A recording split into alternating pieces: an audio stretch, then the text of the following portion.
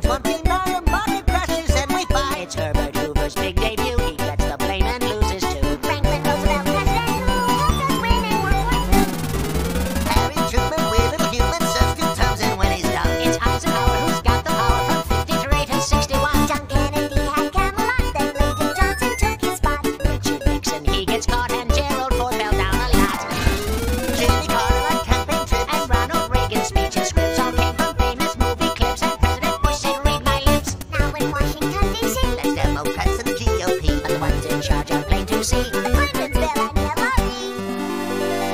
The next president to lead the way, well, it just might be yourself one day. Then the press will distort everything you say.